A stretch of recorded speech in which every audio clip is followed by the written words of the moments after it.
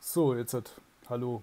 Ähm, und zwar heute möchte ich mal was erzählen, aufbauend auf dem, was wir das letzte Mal hatten. Da hat man uns ja in der Veranstaltung über P5JS eben unterhalten. Also das heißt diese JavaScript-Bibliothek zum Zeichnen von Graphen auch, die man eben jetzt ganz einfach nutzen kann, um irgendwie äh, überhaupt mal irgendwelche Grafiken zu zeichnen und Interaktionen zu machen. Und äh, heute möchte ich nochmal äh, das Thema ein bisschen verfeinern. Das letzte Mal, da ging es ja im Prinzip um das Thema Mapping, das heißt, wie äh, mappe ich sozusagen die Daten auf visuelle Variablen. Das heißt, die einzelnen ähm, jetzt ähm, Einträge meinetwegen in einer CSV-Datei, die einzelnen Spalten sozusagen, das heißt diese Features, wie mappe ich die auf visuelle Variablen wie x, y-Achse, Farbe und so weiter. Das hatten wir das letzte Mal. Was wir eben noch nicht so ähm, besprochen haben, ist einfach jetzt das Ganze, wie funktioniert das mit hierarchischen Daten. Das heißt, wir haben ja auch äh, bei CSV-Dateien, die sind ja mehr so im Prinzip wie Tabellen aufgebaut und eher weniger hierarchisch, ne, was äh, natürlich aber auch sein kann, dass die irgendwo eine Beziehung untereinander noch haben. Aber diese Baumstrukturen, wie es eben in JSON-Dateien vorkommt, wie man die eben gut darstellt, das möchte ich mal vorstellen. Da gibt es auch verschiedene Möglichkeiten. Ähm, und wir haben ja das Thema Graphen auch schon erwähnt. Ne? Das heißt, wie werden Graphen eigentlich überhaupt im Computer gespeichert? Das gibt es ja auch schon im Prinzip als Aufzeichnung. Und da möchte ich jetzt noch aufbauen und das eben jetzt mit äh, P5JS nochmal äh, zeigen. Ich möchte bloß nochmal äh, vielleicht den einen oder anderen praktischen Tipp geben. Und zwar, Moment, das kann ich mal kurz zeigen, wenn Sie, ähm, da war nämlich jetzt auch eine Frage, wie kann ich jetzt zum Beispiel so eine HTML-Datei einfach ähm, jetzt im Browser öffnen. Das ist ja eigentlich normal was trivial, da klicke ich drauf und dann geht die auf. Aber wenn die eben so Daten nachlädt, wie es wir eben haben bei diesen ganzen ähm, Sachen bei P5, ja, also da ist es so, dass ja da was nachgeladen wird und dann ist es teilweise aufgrund der Sicherheitseinstellungen des Browsers ja nicht möglich. Ja. Und deswegen ähm, muss man irgendwo so eine Art Webserver ähm, starten. Ja. Ich kann das jetzt mal kurz demonstrieren. Ich werde das jetzt mal hier nochmal neu machen. Kleinen Augenblick.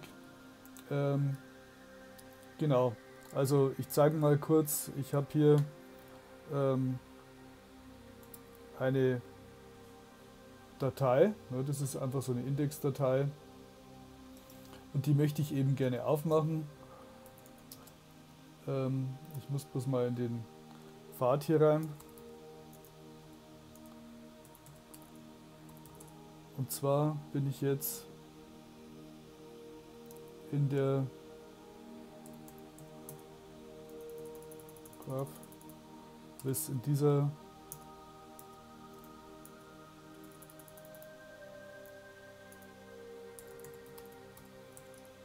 Ne?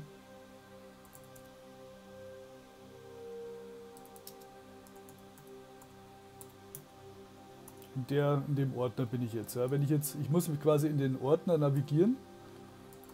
Also hier nochmal. Ich bin, das sieht man, Moment, muss man ein bisschen, ja, also hier unten im Terminal sozusagen. Ich muss im Prinzip ein Terminal aufmachen. Das kann ja unter Windows eben dieses CMD sein oder unter Mac und Linux eben diese Shell, ja, also diese Z-Shell ist es ja hier jetzt aktuell, oder es gibt diese Bash, ja, also die muss ich aufmachen. Das kann ich ja auch einfach so machen, indem ich hier Terminal zum Beispiel tippe. Da bin ich auch in dem Terminal sozusagen.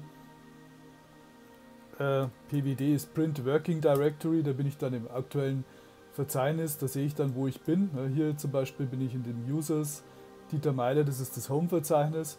Unter Windows ist es ein bisschen anders. Da gibt es zum Beispiel nicht diesen ls-Befehl wie ähm, Directory anzeigen, sondern das ist dann einfach dir, heißt der dann. Ja. Äh, CD ist genau das gleiche, das heißt eben Change Directory.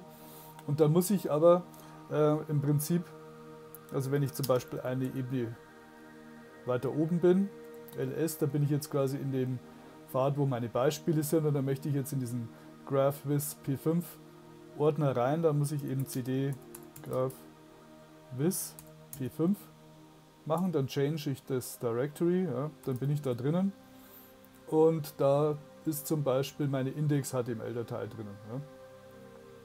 Und jetzt möchte ich da die öffnen. Ja. Das heißt, das kann ich ja mal versuchen, indem ich die ähm, einfach direkt im Browser anklicke. Ne. Das heißt, ich bin hier auch in dem äh, in dieser zum Beispiel hier in dem Ordner und wenn ich das jetzt hier anklicke, dann ah, funktioniert sogar, ja, genau. Das heißt, manchmal funktioniert es, äh, aber das funktioniert deswegen hier, weil ähm, hier nichts nachgeladen wird. Ne? Das heißt hier, das ist dann, ich gehe mal in eine andere Datei vielleicht, wenn ich zum Beispiel, die wollte ich hier machen, P5 Treevis, wenn ich jetzt die anklicke, die Datei direkt im Browser, dann kommt hier nur Loading. Das heißt, äh, der kann das nicht darstellen, weil er irgendwie versucht, also das sieht man hier auch, ich navigiere eben hier File Doppelpunkt Slash zu der äh, Datei direkt hin und das kann nicht funktionieren, weil er da eben was nachlädt. Ja. Also das heißt, äh, da wird eben, wenn die Daten irgendwo, die da, diese dir-JSON-Datei,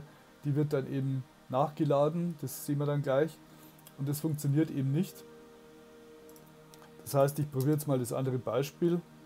Ich gehe da wieder rauf, das war dann eben dieses ähm, P5 Treevis. Ja. Genau hier. Ne? Also das heißt, hier ist diese Indexdatei und die würde ich gern eben öffnen. Und das kann er aber nicht, weil die Sicherheitseinstellungen des Browsers eben das verhindern. Ja. Ähm, weil ich das File sozusagen lokal öffne und nicht übers Web. Ja. Und um das jetzt ähm, zu simulieren, ja, muss ich quasi einen Webserver selber öffnen. Ja. Das heißt, ich habe das ja das letzte Mal gezeigt über Xamp oder MAMP. Das ist ja so eine Möglichkeit, wo man so eine Umgebung hat, da wo man dann eigentlich den Arbeitspfad dieses HTTP-Servers ändern muss auf dieses Verzeichnis. Ja. Äh, das ist unter Umständen relativ komplex, sowas zu machen. Es gibt aber da noch eine einfachere Möglichkeit, und zwar einfach über Python. Also wenn Python installiert ist, äh, dann kann ich einfach äh, Python, das wäre jetzt, also ich habe jetzt Python 3 hier, ne? dann kann ich hier sagen, in dem Ordner mache ich einen HTTP mit 2T Server einfach auf. Also das heißt, es gibt einen vorgefertigten, eine Library, HTTP Server und die kann ich jetzt, wenn ich hier einfach das Kommando eingebe, dann kommt hier tatsächlich, äh, dann macht Python auch einen Webserver auf. Ich kann das also ganz einfach machen, indem ich eben das Kommando eingebe in dem Verzeichnis. Und dann sagt er hier schon auch Serving HTTP on 0000. Das ist quasi äh, die IP-Adresse, die ich dann zur Verfügung habe, also quasi statt Localhost, Port 8000. Und da sehe ich schon in Klammern, da habe ich den Link, den kann ich quasi einfach rauskopieren oder einfach draufklicken auch. Moment, müsste eigentlich schon funktionieren. Ne? Äh, einfach draufklicken. Naja, also ich mache das hier mal äh, einfach im Browser, gebe das hier ein und dann lädt er diese Dateien. Das ist eigentlich das, was ich auch zeigen will. Also das ist hier ähm, eine sogenannte Tree Map, ähm, mal ja ganz einfach. Ne? Also aufgebaut. Möchte ich dann gleich erklären, was das ist. Also das ist einfach eine hierarchische Darstellung von meinen irgendwelchen Dingen, die zueinander baumartig strukturiert sind. Ähm, das kann man auch dann schon mal gleich sehen. Also was da passiert, da wird eben eine Datei visualisiert. Ähm, B5 GBIS, gehen wir mal in das Verzeichnis hier rein. Data, die heißt eben zum Beispiel dir JSON.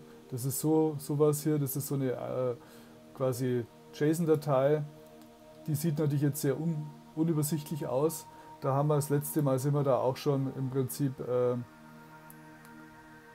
haben uns darüber unterhalten, wie so eine JSON-Datei aussieht. Die sieht halt ein bisschen unübersichtlich aus, weil die eben äh, nicht äh, sozusagen schön formatiert ist, ne, also ohne Einrückungen und Zahlenumbrüche. Äh, das ist aber egal, also die ist im Prinzip menschenlesbar, wenn man eben sich etwas Mühe gibt, aber auch irgendwo maschinenlesbar. Und das ist eigentlich das, was ich da in dem Fall haben will. Ähm, was ich jetzt erstmal zeigen wollte, ist eben mit diesem HTTP-Server, dass das da auch funktioniert. Also das heißt, hier äh, kann ich eben direkt in meinen Verzeichnissen ganz leicht äh, so einen äh, Webserver aufmachen. Äh, was ich da natürlich nicht zur Verfügung habe, ist eben deswegen äh, der Unterschied zu solchen Distributionen wie MAMP oder XAMP. Da habe ich eben keine ähm, ja, SQL zum Beispiel, also SQL-Datenbank dabei, also keine MariaDB oder auch keine, ähm, auch äh, eben nicht PHP oder solche Skriptsprachen, die es da gibt. Also da habe ich eben nur Python und eben einen Python Webserver, was aber für unsere Visualisierungsthemen ganz gut äh, funktioniert, weil wir arbeiten ja eigentlich nur jetzt in dem Fall mit äh, JavaScript ja, und HTML und äh, wir haben quasi eine Web-Server-Umgebung, wo wir eben unsere Sachen testen können. Genau. Das heißt, äh, ich kann das natürlich wieder abbrechen mit Ctrl C und kann dann wieder in die nächsten Dinge reingehen. Ähm, jawohl, ähm, das war jetzt so mal so die, nochmal äh, vielleicht der Tipp. Jetzt wollte ich nochmal kurz auf diese Graphen drauf. Und das nochmal kurz wiederholen. Also wir haben ja gesagt, ein Graph, das ist eben ein Paar an Knoten und Kantenmengen. Ne? Also eine Menge an Knoten und eine Menge an Kanten, Vertices und Edges in dem Fall. Ähm, das habe ich ja schon erklärt. Es gibt verschiedene Arten, das im Computer zu repräsentieren. Wir haben ja dieses äh, ähm, auch schon besprochen, eben mit äh, eben wie das mathematisch aussieht, wie es eben als zum Beispiel JSON oder XML-File aussieht. Das kann man auch nochmal nachschauen. Eben. Äh, wir haben dann diese Sachen eben auch schon uns angeschaut, wie diesen Tiefendurchlauf. Ne? Das heißt, äh, das ist jetzt dann so, dass man, wie man Graphen eben besuchen kann. Das heißt, äh, ich möchte ähm, zum Beispiel die verarbeiten, die Daten, die irgendwie als Graph vorliegen. Das heißt, ich muss die irgendwie alle irgendwo betrachten. Und das kann ich eben mit so einem tiefen Durchlauf-Algorithmus machen. Das werden wir uns jetzt auch nochmal quasi in der Praxis nochmal genau anschauen. Ähm, also Dev, Dev First Search heißt das DFS im Prinzip. Da kommt rein in diesen Algorithmus eben ein Knoten, den verarbeite ich dann irgendwo. Was das heißt, erkläre ich gleich. Und für alle Nachfolger von dem Knoten, also für alle Nachfolger VI, mache ich den rekursiven Aufruf von diesem Algorithmus und dann ergibt sich eben dieser Durchlauf hier. Genau, das hatten wir schon. Und jetzt äh, möchte ich im Prinzip, Breitendurchlauf ist im Prinzip äh, anders, ja, haben wir auch schon er erwähnt, möchte jetzt gar nicht drauf eingehen, kann man nochmal an anschauen. Äh, ich möchte jetzt mal einfach auf Bäume und wie man die darstellt äh, eingehen. Das haben wir ja auch schon. Also da gibt es hier diese Abbildungen, die sind von äh, Schneiderman aus einem äh, Buch, äh, Grundlagenbuch über Informationsvisualisierung. Ähm, das kennt man aber auch, das ist so ein klassischer Explorer-artiger View von einem Baum. Ne? Also das heißt, das kann ja Dateisystem sein, das kann aber auch irgendwie anderes sein. Äh, da ist es einfach so, dass die Ordner im Prinzip sind die einen Knoten und dann liegen da eben wieder weitere Ordner oder Dateien drin. Also die Blätter sind quasi die Dateien. Was sich da ergibt, ist halt so ein, so ein langgestrecktes, äh,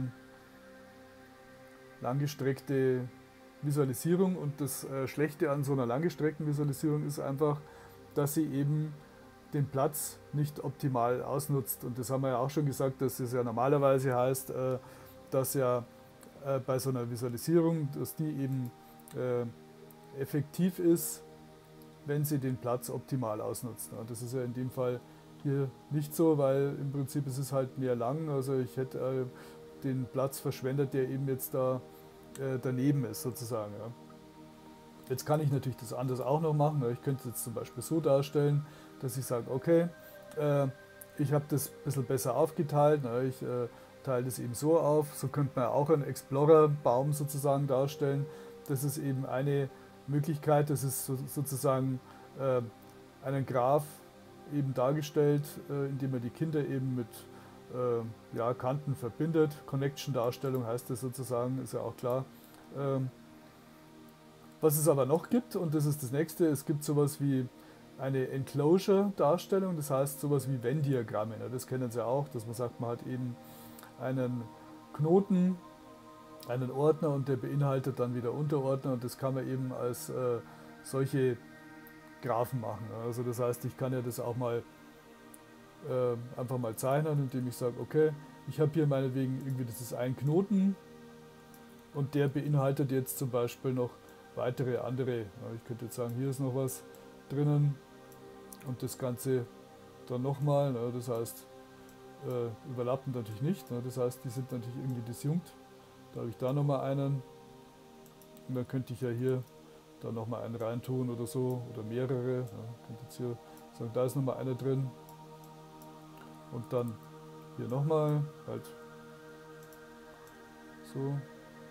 Genau, und da könnten ja da auch noch irgendwelche einzelnen Dinge drin liegen. Ne? Das wären dann quasi die Ordner und dann könnte man sagen, okay, da hat man jetzt hier irgendwelche Dinge in den Ordnern drin liegen irgendwo. Das heißt, in dem oberen Ordner, da liegen jetzt zwei Ordner drin, weitere und aber eine Datei. Und in dem Ordner liegt jetzt ähm, eine Datei drin und in diesem Ordner, da liegen jetzt zwei Dateien und zwei Ordner drin und so weiter. Also das könnte man sich so überlegen, das Ganze. Ich mache das jetzt nochmal weg. Das wäre quasi die Idee dahinter. Ähm, man kann es natürlich auch rund machen ne, also, oder eckig, je nachdem. Da ist es aber auch so, dass der Platz eigentlich auch relativ schlecht ausgenutzt ist, weil im Prinzip es gibt sehr viel verschwendeten Platz dazwischen, hier diese grauen Flächen zum Beispiel. Ne. Ähm, und deswegen gibt es eben die Tree Map, äh, dass man sagt, man macht diesen Platz einfach weniger. Ne? Das heißt, man nutzt den einfach aus, besser aus und macht den Platz weniger. Man könnte auch zum Beispiel sagen, dass die Inhalte, also das heißt die Größen der einzelnen Blöcke, vielleicht irgendwas, auch Informationen repräsentieren, wie zum Beispiel Dateigrößen oder so. Ne? Das kann man ja machen. Und äh, wenn man diese Blätt, den Platz dazwischen eben hier nochmal, wenn man den noch kleiner macht und eben ganz verschwinden lässt, dann entsteht so eine Tree Map. Ja? Das heißt, ich sehe dann eigentlich die Ordner nicht mehr, sondern nur noch die Blätter. Ja? Und äh, jetzt ist vielleicht nicht ganz klar, wie das funktioniert.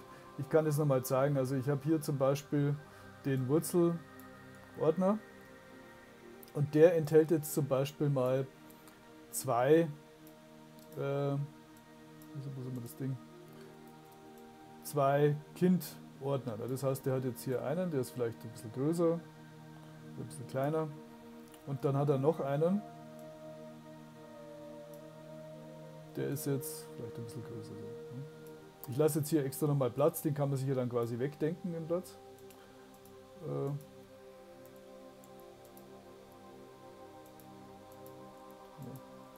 Ja, ist egal. Also, jetzt äh, mache ich folgendes. Ich habe im Prinzip hier zwei Kinder und das teile ich quasi dann.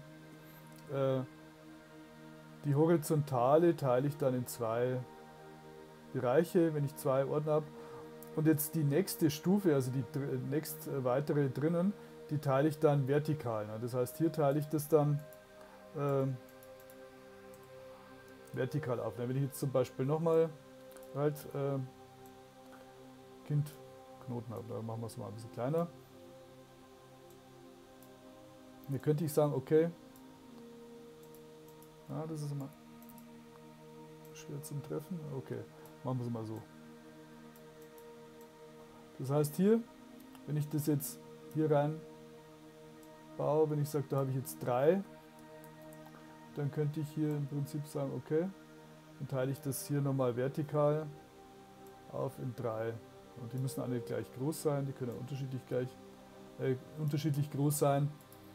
Und hier, nachdem ja der in der gleichen Ebene liegt, der Knoten, der zweite, teile ich den jetzt, wenn da zum Beispiel nur zwei drin liegen, dann teile ich den eben halt auch quasi in der horizontalen, ähm, in der vertikalen Achse dann in zwei Teile. Da haben wir zum Beispiel einen, der ist so groß und einen, der wäre quasi so groß. Wenn es jetzt noch eine Ebene gibt, das könnte ja sein, dass die unterschiedlich tief sind. Jetzt könnte man sagen, in dem, da sind jetzt vielleicht auch nochmal irgendwelche Dateien und Ordner drin. Dann würde ich das eben wieder, ähm,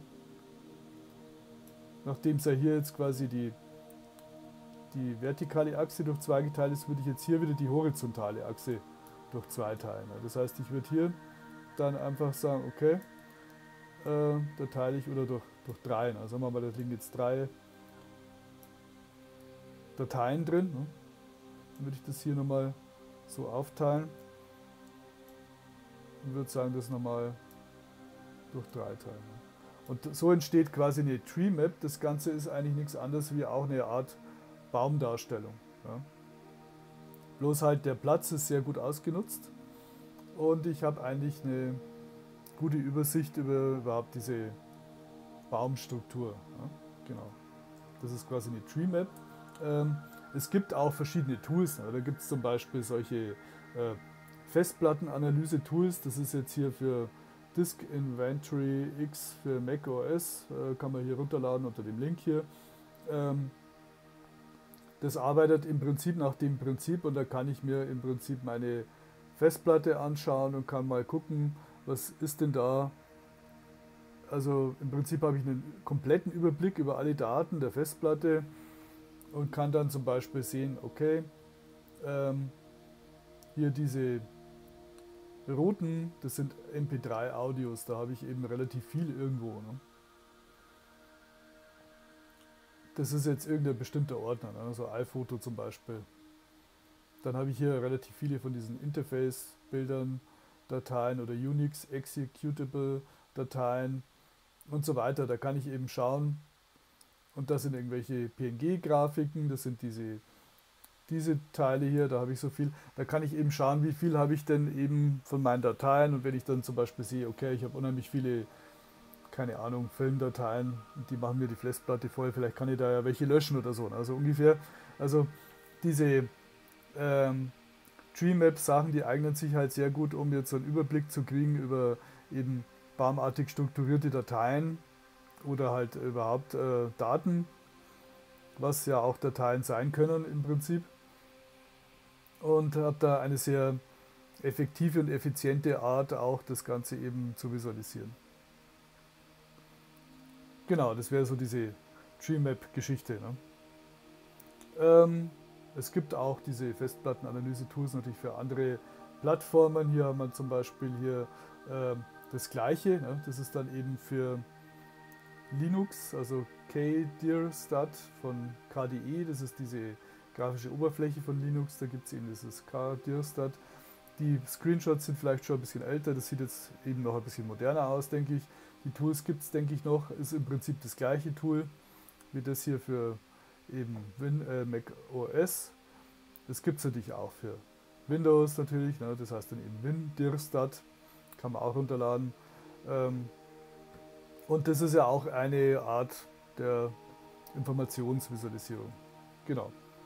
Es gibt da noch andere Sachen, also die gab es mal, so Market Watch, wo man eben jetzt auch einfach mal ähm, andere Themen, die eben hierarchisch strukturiert sind, eben anzeigen kann als so eine Art Tree Map. Ne? Also hier zum Beispiel habe ich verschiedene äh, Branchen, die irgendwo dann auch nochmal aufgeteilt sind in Unterbranchen und so weiter. Ne? Market Map.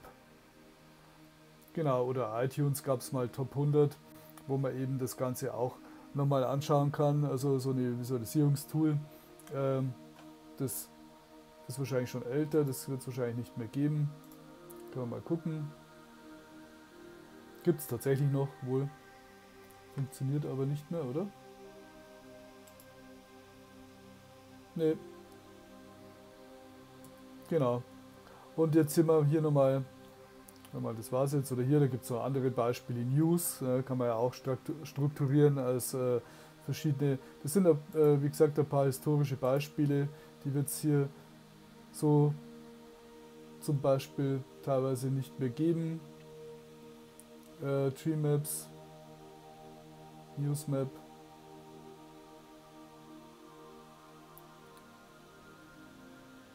Gibt es hier auf jeden Fall noch eine Webseite. Das sind auch diese, das ist im Prinzip auch von dieser University of Maryland, äh, wurde eben auch der Schneiderman ähm, und der Card und der McKinley, die sind da im Prinzip Forscher im Prinzip äh, über Informationsvisualisierung. Das Ganze war natürlich jetzt so, das ist alles schon ein bisschen, hat eine gewisse Historie. Das sind so die ersten Beispiele gewesen.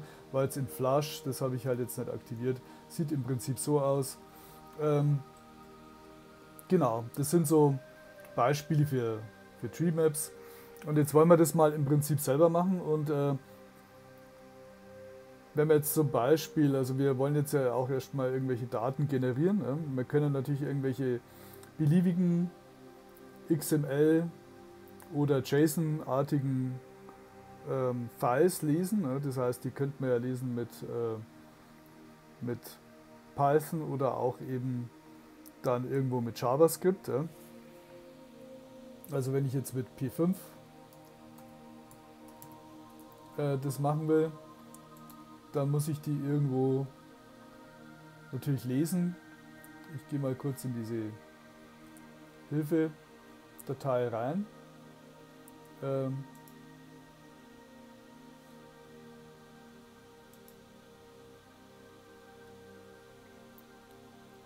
Jetzt muss ich mal kurz schauen, wo sind denn da jetzt wieder die Hilfedateien hin. Processing ist ja das nicht, was ich hier will. Ich will jetzt hier P5JS, genau. Und jetzt haben wir hier, ah, die Seite ist offline, okay.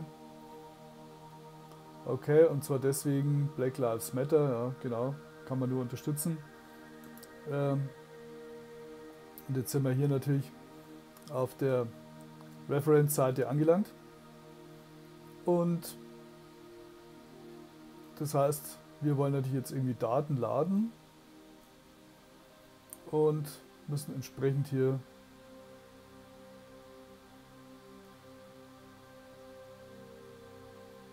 Sachen laden. Moment, load.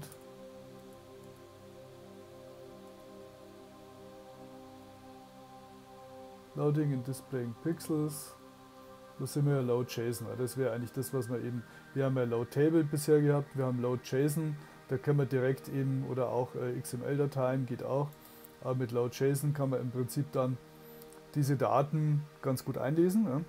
Und das können ja in unserem Beispiel, wie wir schon gesehen haben, beliebige Daten sein, also eben, äh, was ja auch jetzt hier unsere aktuelle Studienarbeit betrifft, wo es ja dann auch diese Datensätze, was ja in einem vorhergehenden Video schon gab, eben diese ähm, äh, Corona-Daten, ja, die haben wir ja im Prinzip da uns schon angeschaut, die könnten wir jetzt hier laden. Ich habe jetzt noch andere Beispiele, weil wir, ich meine, ist gut, dass wir uns mit Corona-Daten beschäftigen, die wir aus irgendwelchen Datenquellen bekommen.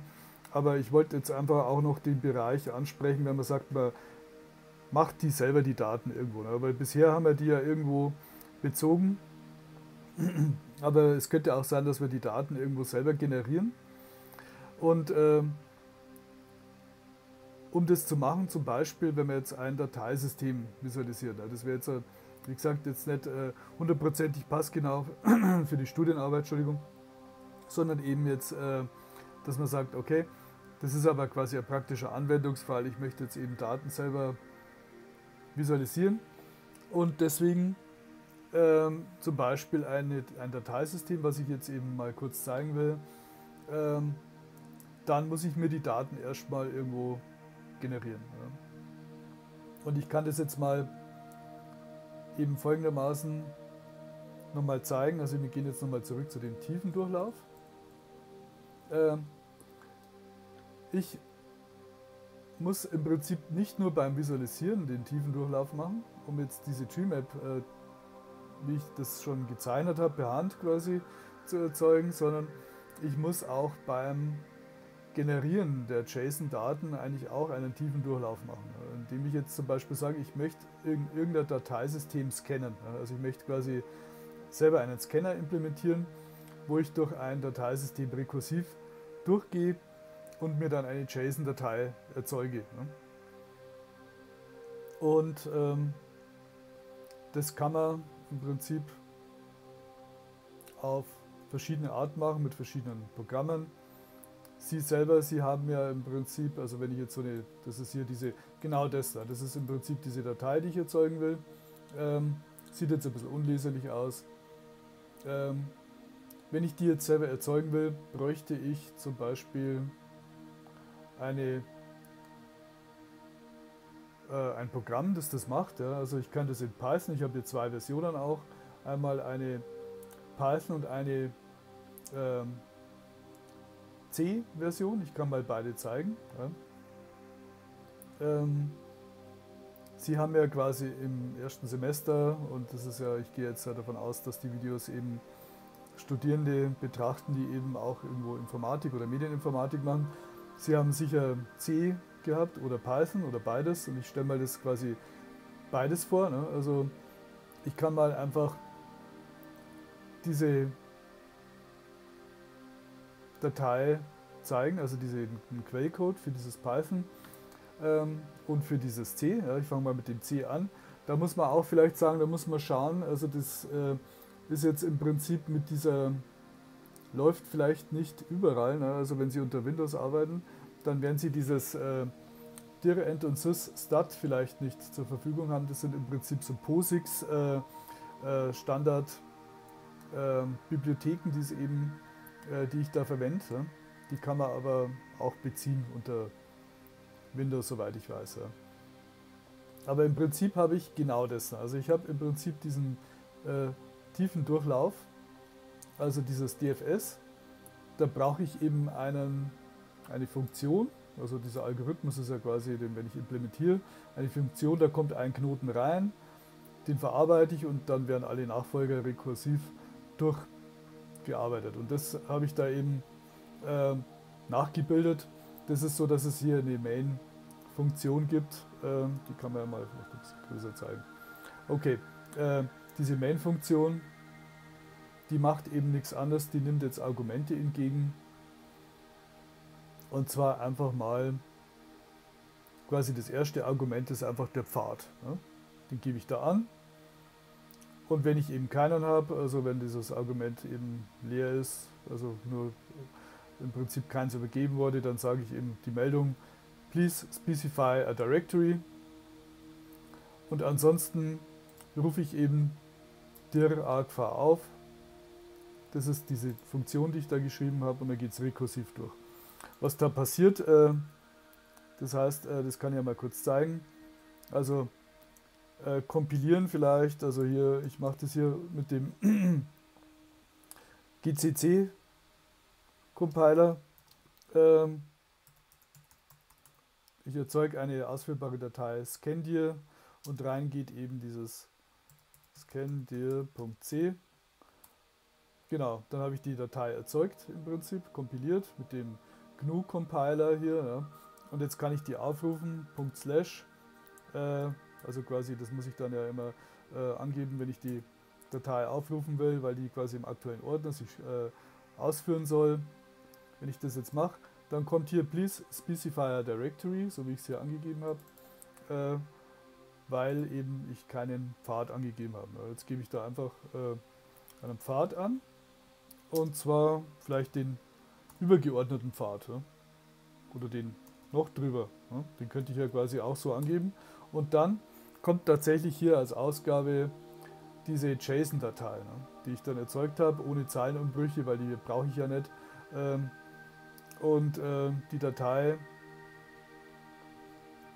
die hat eben genau dieses Aussehen, was wir hier auch äh, schon hatten bei den, äh, muss ich mal schauen, ob ich das hier auch bei dem, was wir als Beispiel schon hatten, im letzten Video eigentlich. Ne? Das kann ja nochmal, ist egal. Also das heißt, äh, die sieht eben im Prinzip zwar jetzt nicht leserlich aus hier, ne, diese Ausgabe, sondern ähm, kann ja mal eine neue Datei aufmachen. Die funktioniert im Prinzip so, ich habe hier einfach ein JSON-Objekt. Ja, das kann man jetzt hier mal, ich zeichne das jetzt quasi im Prinzip unten nochmal nach. Ähm, und da gibt es dann einen Type, ne, das heißt Type ist einfach, ob es ein Directory ist oder äh, ob es ein, eine äh, Datei ist. Ne? Also das heißt ein, ein File. Ne? Und äh, das heißt, ich habe hier Type,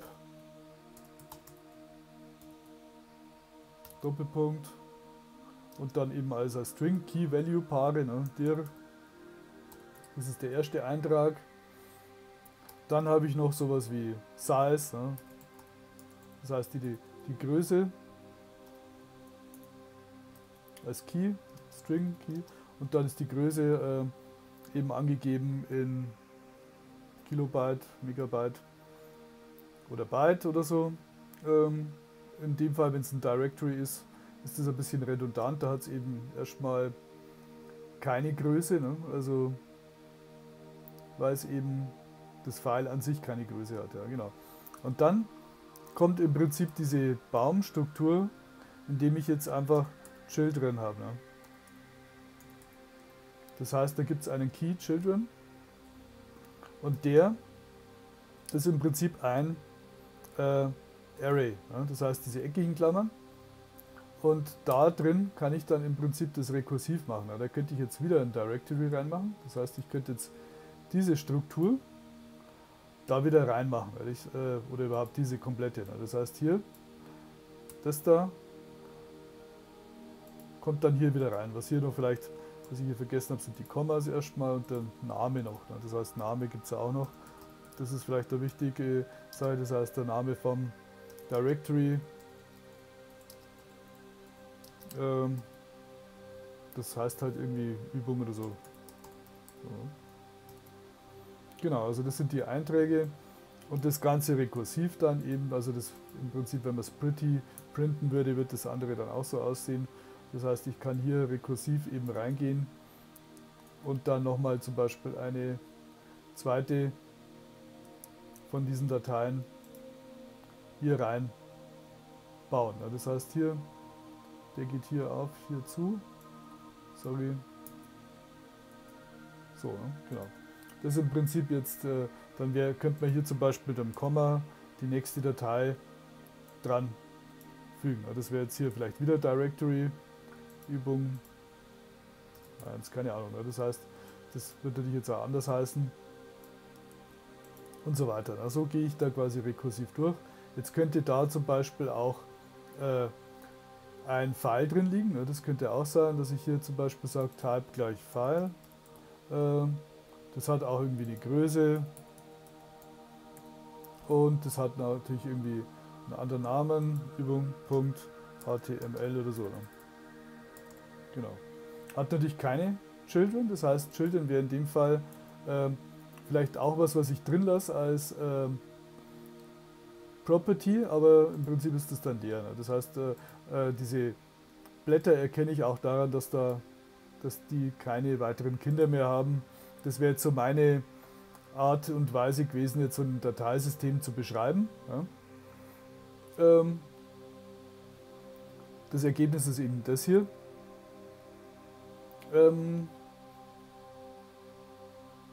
das ist natürlich alles willkürlich festgelegt. Ne? Das heißt, äh, das ist ja nur ein Beispiel. Das heißt, das ist jetzt kein genormtes Dateiformat oder so, sondern diese Key-Namen zum Beispiel oder überhaupt, wie viel ich da an Keys habe und so weiter. Ne? Also das habe ich ja selber gewählt. Ne? Ich könnte jetzt Size zum Beispiel weglassen, wenn es mich nicht interessiert. Ich könnte es auch Größe nennen oder keine Ahnung. Ich könnte es sogar irgendwie anders strukturieren. Ich könnte äh, Children irgendwie anders nennen und so weiter. Also das ist ja nur, um jetzt überhaupt einmal beispielhaft so, eine, äh, so ein Dateisystem zu beschreiben, nach meinen eigenen äh, im Prinzip Konventionen. Ne?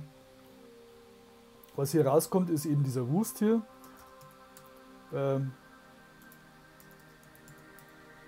ich könnte zum Beispiel auch mal nur die nächsthöhere Ebene nehmen, dann ist das ein bisschen weniger. Ne? Also ist aber auch schon, man sieht, das wird dann doch relativ viel. Ne? Also ja, genau. Äh, was ich jetzt ja hier habe, äh, ist eigentlich, äh, ich möchte das Ganze natürlich irgendwo auch äh, quasi als abspeichern. Das heißt, was hier rauskommen soll, ist ja dieses dir.json. Ne? Äh, das ist quasi das, was ich das letzte Mal irgendwo gescannt habe. Das wäre jetzt hier im Prinzip das da. Ne? Das ist aber das gleiche. Das möchte ich jetzt speichern. Wenn ich jetzt im Prinzip ähm, meine Datei hier aufrufe, scan hier Doppelpunkt, Doppelpunkt Slash, das ist im Prinzip der äh, Pfad, ja, dann wird das Ganze einfach hier ausgeprintet in die Konsole. Ne? Ich habe hier in diesem scandir.c File zum Beispiel, äh, da ist ja Genau, das sind ja die gleichen hier. Ähm, da habe ich ja im Prinzip, ich arbeite so, dass ich irgendwo am Schluss mit printf einfach das Ganze ausgebe in die Konsole. Ne? Und ich weiß nicht, äh, bloß mal als Tipp, ähm, sind natürlich jetzt äh, ein paar so Konsolentipps. Äh, ich kann das Ganze natürlich auch statt in die Konsole in eine Datei printen. Ich will ja das zum Beispiel hier in diese dir.json-Datei, die kann ich ja mal löschen, rm, halt, rm, dir, die kann ich jetzt mal löschen, dann ist die jetzt weg. Wenn ich die jetzt quasi neu erzeugen will und im Prinzip diese, dieses Kommando eben nicht in die äh, Konsole schreiben will, sondern in die Datei, dann kann ich das einfach mit so einem äh, quasi umleiten in eine Datei, und die wird eben dann einfach angelegt, wenn es es noch nicht gibt. Und jetzt sehe ich schon, da ist sie wieder. Das heißt, da ist diese dir.json-Datei wieder da, die kann ich mal wieder anschauen. Und das ist dann eben genau die Datei. Die Umleitung äh, hat eben das Ganze in die Datei geschrieben. Ja, okay. Ja, und ähm, Jetzt gehe ich mal kurz einfach durch den Code. Also das heißt, dieser Tiefendurchlauf, ich habe eben im Prinzip übergebe ich dieser Funktion dir, die ich eben selber geschrieben habe, einfach mal das Argument.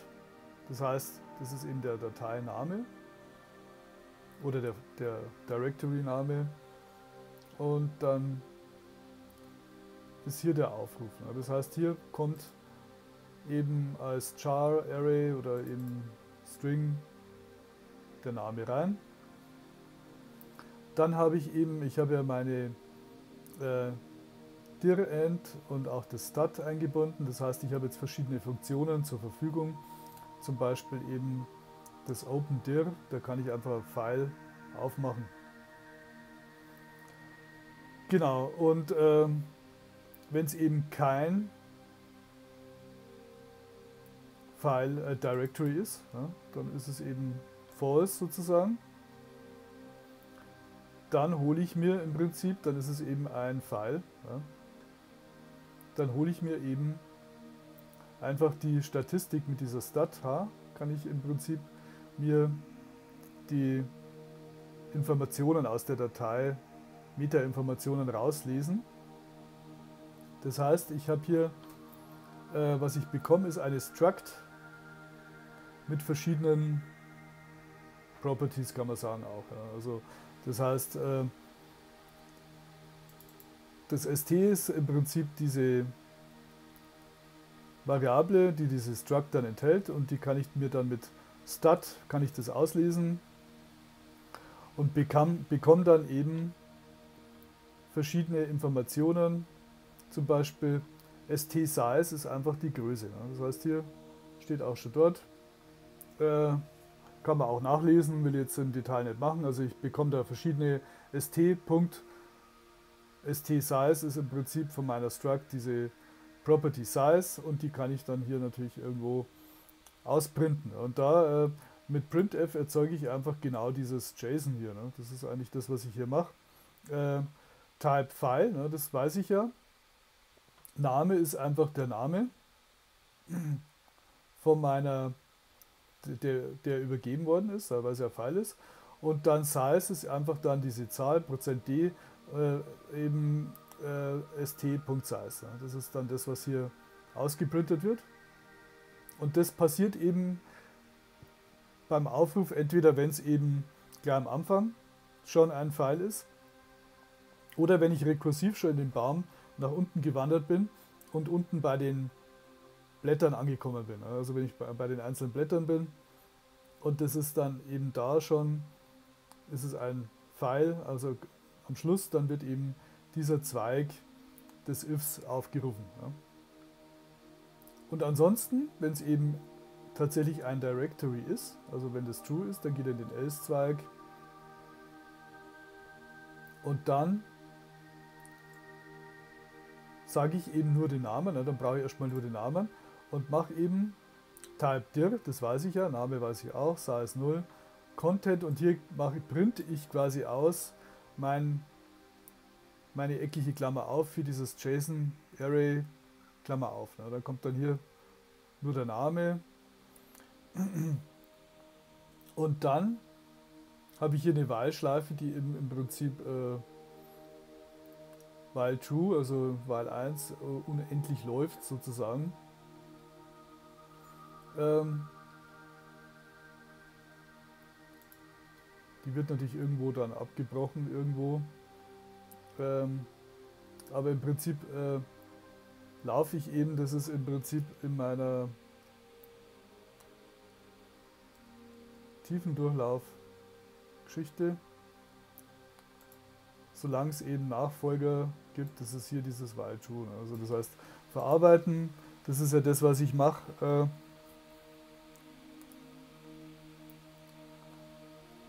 durch dieses Ausprinten. Das heißt, das ist das Verarbeiten hier oder auch hier.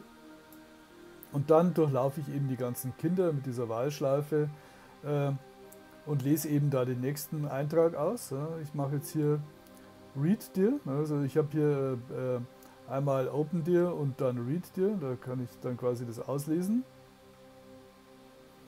Ähm, und wenn eben wenn es nichts mehr gibt, dann mache ich hier, dann verlasse ich hier diese Wahlschleife mit Break. Ja. Das heißt, hier ist quasi ähm, der Ausstieg aus der Wahlschleife, weil es eben keine weiteren Directories gibt. Ansonsten ähm, mache ich was, aber ich muss jetzt vor allem noch folgendes machen hier. Punkt und Punkt, Punkt muss ich natürlich irgendwo ausschließen, weil das sind ja im Prinzip tatsächlich unsichtbare Dateien unter Unix, Linux, Mac und so. Gibt es quasi immer eine Datei, die heißt Punkt. Ja? Also wir haben ja auch gesehen, ähm, das hat ein bisschen was zu tun mit diesem CD Punkt Punkt ist quasi, ich wechsle in die übergeordnete Datei und CD Punkt wäre quasi ins aktuelle Verzeichnis wechseln. Also Punkt Slash äh, Scandir gebe ich ja deswegen auch an, weil das ist quasi die aktuelle, das aktuelle Verzeichnis und in dem liegt dann Scandir.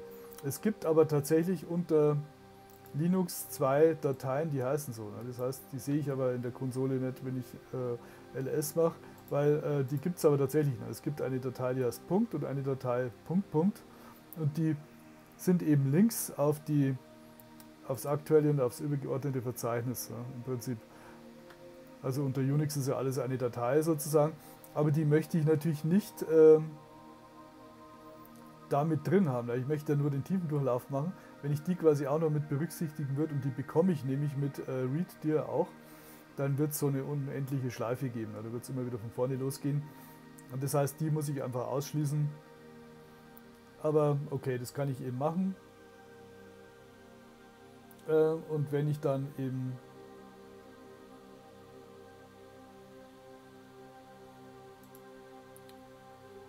Können wir ja mal ein bisschen einrücken hier. Also wenn die eben nicht so heißen, dann gehe ich da rein äh, in diesen Zweig und jetzt möchte ich äh, folgendes machen, ich möchte jetzt mit Komma getrennt diese, hier das Komma, da möchte ich jetzt die weiteren Einträge machen. und das Komma soll natürlich am Anfang nicht kommen. Ne? Und am Ende vielleicht es kommen. Ne? Das ist äh, eigentlich auch okay. Aber am Anfang nicht. Und deswegen äh, habe ich hier noch so einen Schalter drin. Ne? Das heißt, äh, ich sage eben, eine, ich habe eine boolsche Variable, die heißt eben be first. Und die ist am Anfang eben false. Hier. Oder 0. Und wenn die eben am Anfang false ist, dann setze ich sie auf 1 und ansonsten printe ich eben immer das Komma. Das ist nur, dass es das erste Mal nicht passiert. Ähm und dann gebe ich mir den Pfad auf, aus. Ne? Das heißt, ich kann jetzt hier bei dem Entry, das ist dieses Read-Dir, da gibt es eben eine, ähm, eine Property d-Name von diesem Objekt und das kann ich mir da ausgeben.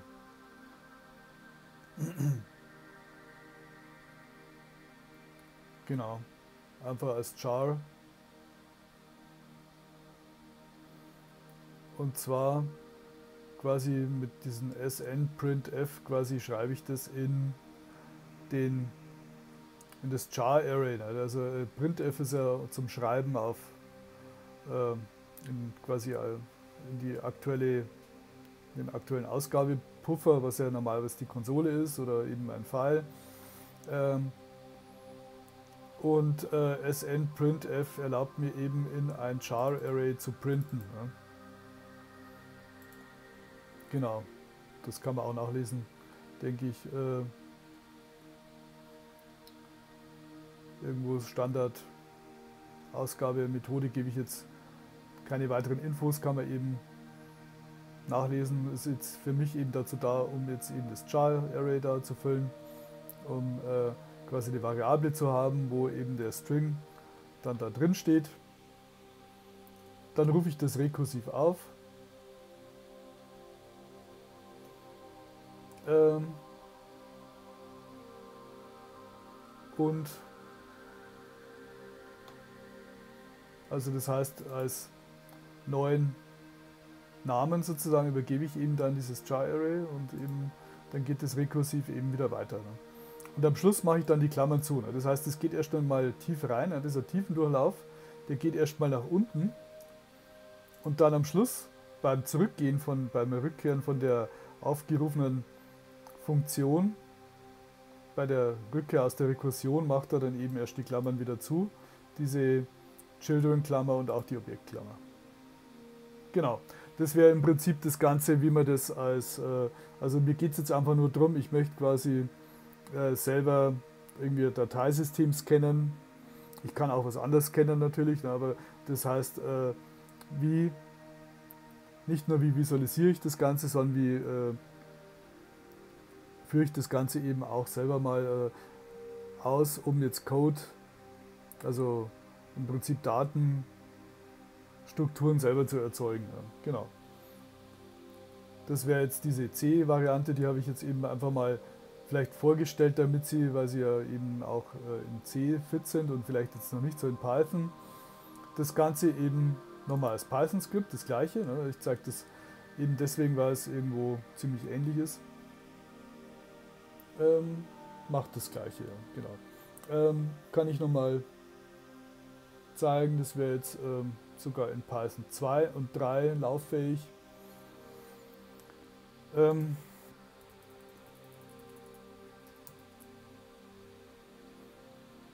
das heißt, ich kann Python scan dir, da muss ich natürlich den Python-Interpreter angeben.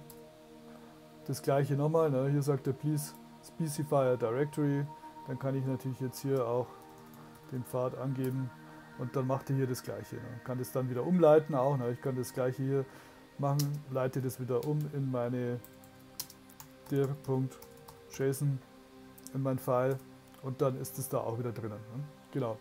Ähm, funktioniert auch sehr ähnlich, ne? deswegen äh, habe ich auch diese quasi POSIX-kompatiblen Funktionen hier verwendet, weil die eigentlich so ähnlich in Python auch vorkommen.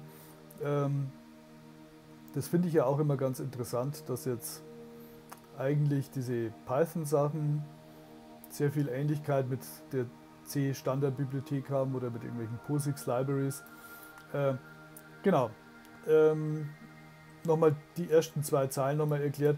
Also das ist hier dieser quasi Hash-Bang, das habe ich glaube ich auch schon mal erwähnt äh, oder auch nicht. Ähm, den brauche ich eigentlich nicht. Ne? Das heißt, hier steht äh, Hash, Ausrufezeichen, spricht man, oder Shebang, was heißt es genau. Ähm, bedeutet im Prinzip, ich sage meiner Shell, dass es sich um ein Python-Skript handelt und äh, dass die normalerweise mit user bin Python aufgerufen werden.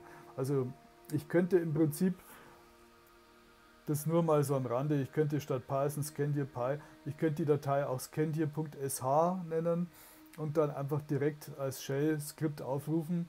Dann würde die Shell eben erkennen, okay, das ist ein Python-Skript und könnte das ausführen. Deswegen steht das hier drinnen. Äh, brauche ich in dem Fall jetzt hier nicht, weil ich ja direkt über den Python-Interpreter starte. Ansonsten könnte ich eben der Shell sagen, mit welchem Interpreter dieses File ausgeführt werden soll, falls Sie das mal sehen. Also das ist auch so, sind ein paar so kleine Praxistipps, die da immer wieder mit reinkommen. Die zweite Zeile brauchen wir eigentlich auch nicht. Äh, die ist nur äh, dazu da, um das Ganze abwärtskompatibel zu machen zu Python 2, weil viele zum Beispiel Systeme standardmäßig tatsächlich kein Python 3 installiert haben. Ja, das ist auch zum Beispiel bei äh, macOS der Fall, äh, dass das normalerweise zwar ja Python als Skriptsprache äh, mit drinnen hat, aber eben kein äh, Python 3, sondern Python 2. Ja. Okay, da hat jetzt irgendwie viele erkannt, da ist aber keiner, ne, weil man hat ja gesehen, das Ganze wird ausgeführt. Ähm, das ist immer mit, dem, mit der Formatierung manchmal ein bisschen kompliziert, äh, ob er da das Ganze ordentlich also es muss ja in Python immer eingerückt werden ne? und äh, wenn da irgendwas, also der, äh, die Entwicklungsumgebung findet da jetzt irgendeinen Einrückungsfehler, ich weiß jetzt nicht, was das ist, ist egal jetzt in dem Fall, äh, funktioniert er auf jeden Fall. Ähm, und da ist es eigentlich genauso. Ne? Äh, ich habe hier keine Main-Function, sondern ich habe hier eine Funktionsdefinition, das ist dieses Scan-dir oder dir, wie es hier in, äh, in C eben war. Und äh, anstatt der Main-Funktion habe ich im Prinzip die oberste Ebene der Einrückung. Ja, das ist ja auch schon wieder so baumartig irgendwo.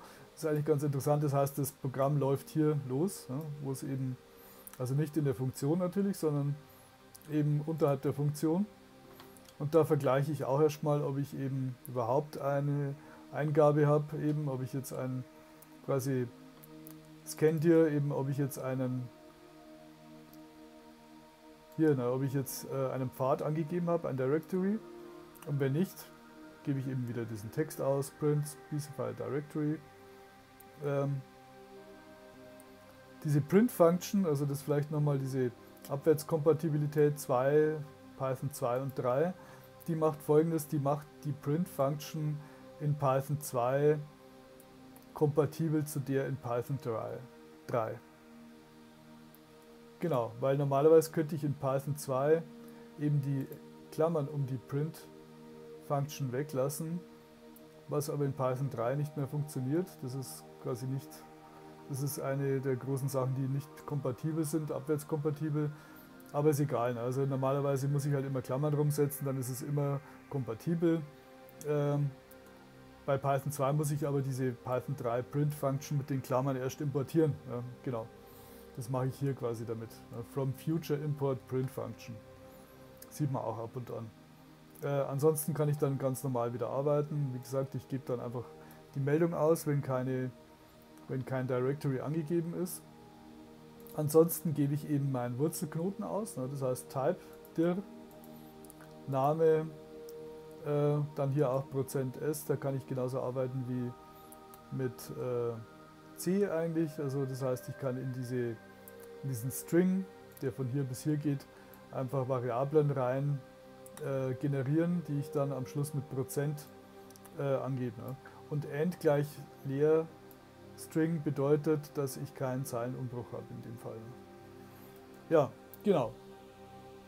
Und da habe ich eben ähm, das gleiche, ich habe hier die maskierten Anführungszeichen immer drin, weil ich ja dann quasi Strings in Strings generiere. Äh, ich könnte auch einfache außenrum setzen können, aber ich habe hier doppelte und habe dann hier quasi immer diese Backslash Hochkomma, das ist im Prinzip das maskierte Hochkomma. Das steht eben dann, weil ich ja nicht in einem String sonst äh, das Hochkomma schreiben könnte. Und wenn es ein Directory ist, type gleich dir, Name, der Name, der dann eben das erste Argument ist und so weiter. Dann rufe ich eben diese scan-dir-Funktion, wie es hier heißt, nicht dir, nochmal auf. Und dann mache ich eigentlich das gleiche. Ich gehe auch OS List hier habe ich jetzt auch quasi, ich habe hier OS und sys. Das entspricht eben auch diesem, was ich hier habe äh, bei OpenDir und äh, ReadDir habe ich hier und bei Python habe ich eben ListDir. Da lese ich mir eben vor Item in OS ListDir Path, das bekomme ich ja dann da. Dann habe ich auch nochmal diesen Schalter mit dem Komma, äh, das ich eben das erste Mal nicht ausprinte. Ne? Das heißt hier dieser Schalter der ist hier. Dann muss ich mir das Ganze noch, äh, also für dieses einzelne Item, äh, muss ich mir den Pfad noch äh, sozusagen bilden, weil da bekomme ich nämlich nur den einzelnen Namen und nicht den vom quasi den kompletten Pfad. Der Teilpfad bekomme ich nicht, sondern nur eben den einzelnen Eintrag. Da mache ich mir dann einen Pfadnamen noch mit äh, Past Join draus. Ne? Das heißt, der, äh, diese Funktion Past Join ist auch ganz gut, weil die eben entspricht äh, den Konventionen, die es auf dem jeweiligen Betriebssystem dann gibt. Mit Slash, Backslash unter Windows und so. Äh, dann habe ich auch dieses Stat, os.stat, das entspricht eben diesem äh, Stat, was ich hier äh, als Funktion eben habe bei stat.h. Das ist im Prinzip das gleiche, nur halt äh, eine Python äh, Interpretation von dem Ganzen. Ne? Ich denke, die benutzt auch diese C-Bibliothek dann intern. Ähm, genau, das brauche ich nicht mit diesem Punkt und Punkt, Punkt. Das ist hier eben auch ausgegraut. Äh, ich sage hier einfach if os path ist dir path name, also wenn es ein Directory ist, dann gebe ich eben not os path ist dir, dann gebe ich eben das als File aus. Ne? Das heißt, dann mache ich das gleiche nochmal, name, File, äh, Type File, name, äh, den Namen, als den ich dann da hinten eben mit statinfo st size, ne? das ist das gleiche, mit dran, Kette, da gebe ich die Variablen an, Prozent, eine Variable PathName und dann Size. Die werden dann ersetzt eben da bei diesen, also der String wird dann hier gefüllt mit diesen Variablen. End gleich leer, String heißt wieder kein Zeilenumbruch. Alles in eine Zeile. Und wenn es eben kein Directory ist, dann ist es eben, äh, wenn es eben ein Directory ist, weil da oben ist es eben keins, da ist es ein File.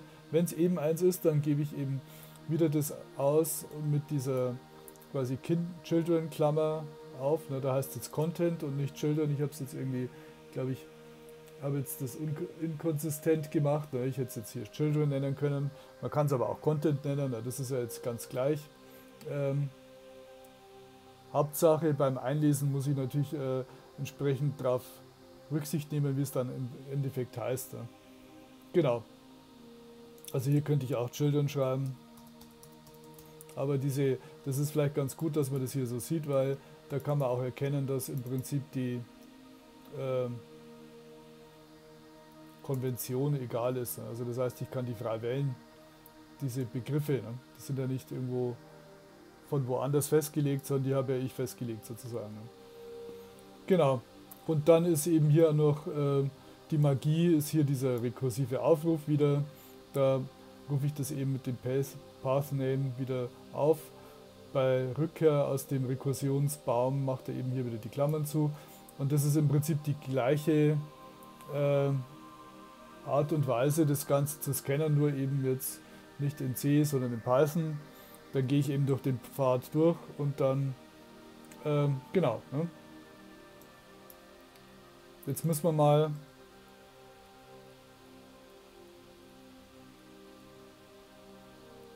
Genau. So. Ähm, das Ganze kann ich natürlich mit dieser C-Variante auch machen. Ich habe das bis nochmal gemacht, dann, weil dieses Children eben hier, eben das ist, was ich da brauche. Ich möchte im Endeffekt dann am Schluss äh, das Ganze hier erzeugen. Ne? Das müsste jetzt noch funktionieren. Äh, nee, weil ich meinen Datei, äh, meinen File-Server nicht mehr gestartet habe, meinen HTTP-Server, das muss ich quasi jetzt hier wieder machen. Ähm, und dann sind wir quasi schon in der JavaScript-Welt. Ja. Ähm, genau. Das heißt, hier habe ich mein Index-File. Ich mache wieder den Python-Server. Ähm,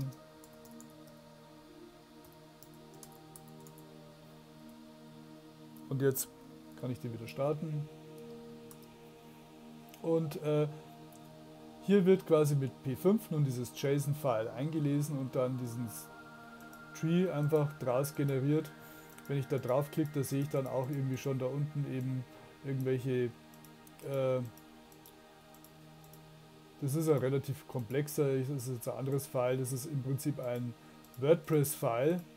Ähm, irgendwie, ist, das ist quasi eine, ja, eine dynamische Webseite sozusagen. Ähm, und die möchte ich mal einfach schauen, was ist denn da die wollte ich analysieren sozusagen. Ich habe da quasi so eine Webseite mal gemacht und dann kann man sehen, wo sind denn da die größten Files zum Beispiel. Da gibt es hier Uploads, das ist relativ groß.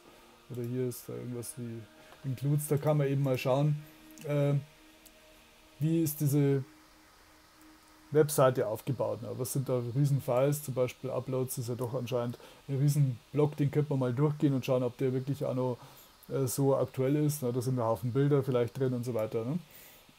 Irgendwelche äh,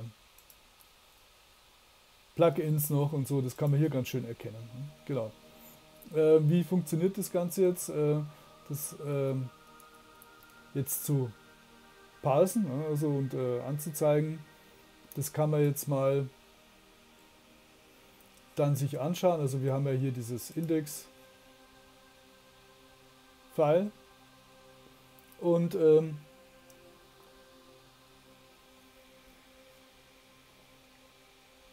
ich habe hier P5 Trevis und äh, verschiedene Add-ons. Das kann ich nämlich auch machen bei ähm, P5. Da muss man auch mal vielleicht das Ganze nachlesen. Ähm, bei der Referenz, da gibt es hier Das ist jetzt, glaube ich, nicht verfügbar, weil nämlich äh, die Add-ons, die sind nicht äh, im Prinzip Teil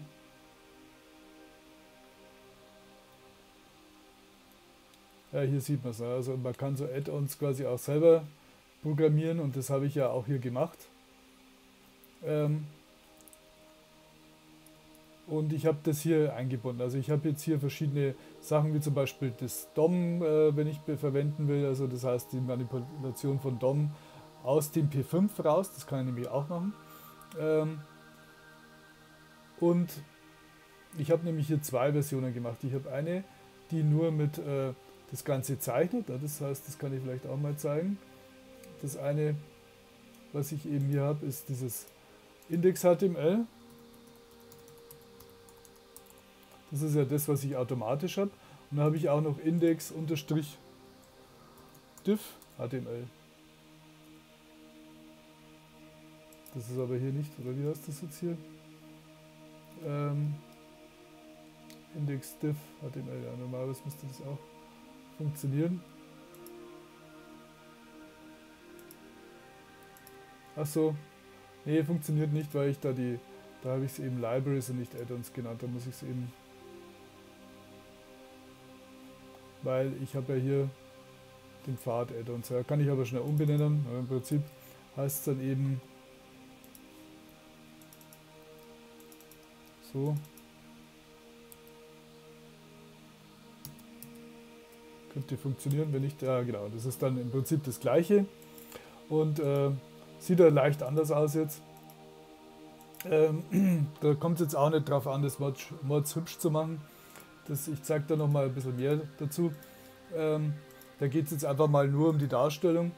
Ähm, der Vorteil bei der Darstellung ist, dass das jetzt wirklich quasi mit generierten HTML ist. Das heißt, ich kann im Prinzip auch mit dem P5 sogar nicht nur auf das Canvas-Objekt zeichnen, sondern mit diesem Add-on P5.dom äh, kann ich quasi auch wirklich Div-Blöcke erzeugen und so weiter.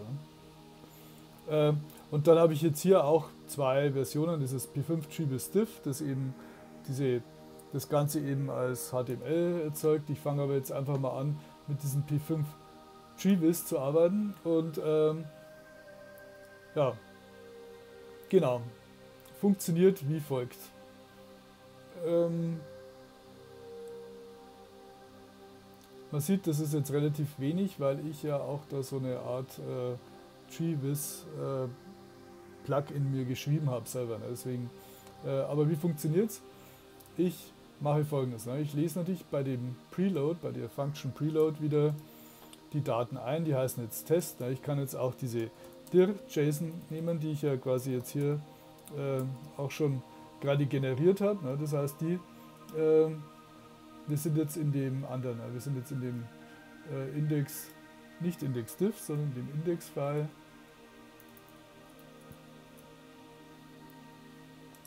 Genau, und das äh, müsste jetzt eigentlich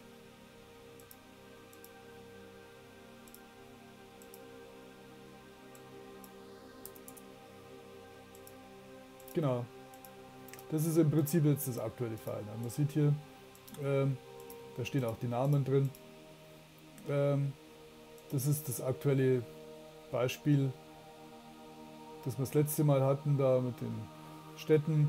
Das ist quasi in diesem Beispielordner, den ich da gescannt habe. Da sieht man auch die größten Dateien hier. Das Flights CSV ist sehr groß äh, als in diesem Beispiel. Ne? Und hier sind natürlich diese JavaScript-Dateien, auch die Library-Dateien, die hier öfters offensichtlich vorkommen. Ne? Genau, aber das Städte-File ist wohl das, oder das Flights-File ist eben hier auch sehr groß. Okay, äh, das heißt, ich lade jetzt einfach mal mein gescanntes Directory hier rein und ähm, erzeuge ein Zeichen, eine Zeichenfläche. Ähm,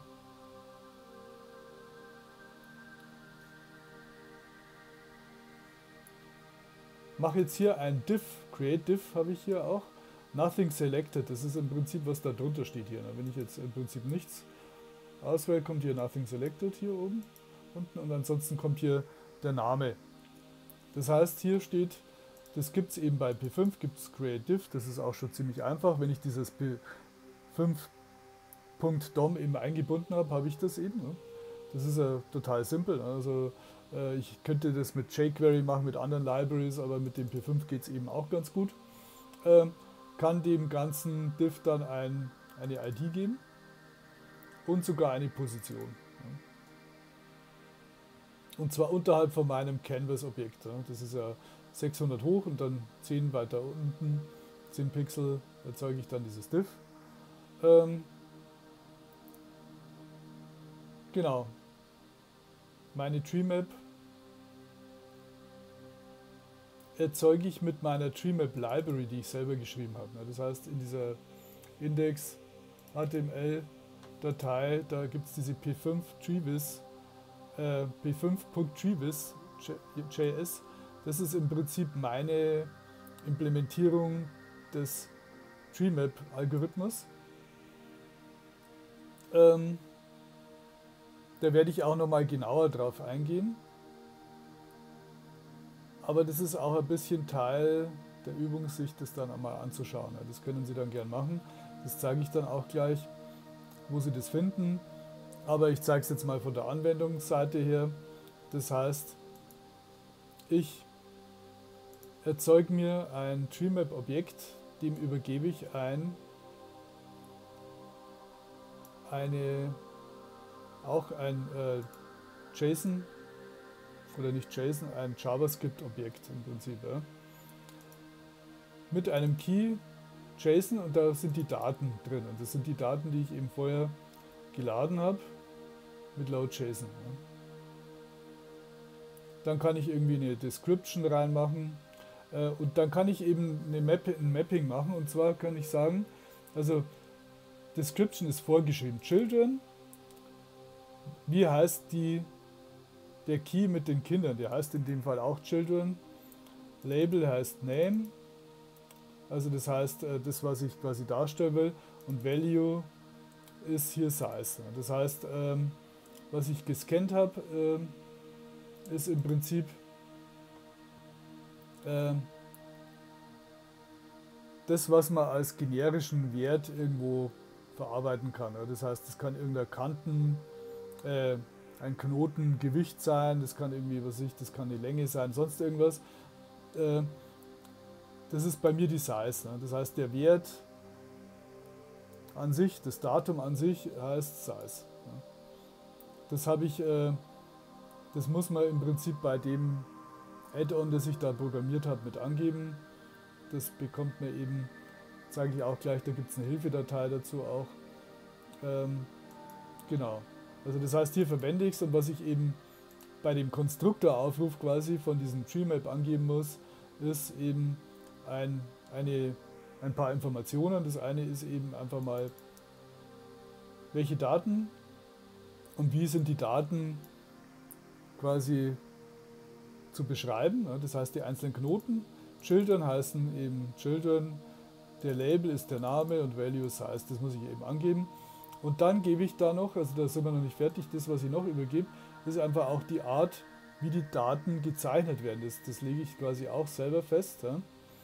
Ähm, man könnte es auch im Prinzip so sehen, wenn man ähm, das visuelle Mapping hat, was wir ja bei dem Referenzmodell der Informationsvisualisierung ja äh, auch schon kennen, dann ist es so, dass diese Draw-Funktion eben dann äh, einfach sagt, äh, wie das Ganze eben ja, gemappt wird im Prinzip. Ja. Also, ähm, und die Selektion, also das heißt diese äh, Datenauswahl, na, diese Data Tables, die gebe ich eben ähm,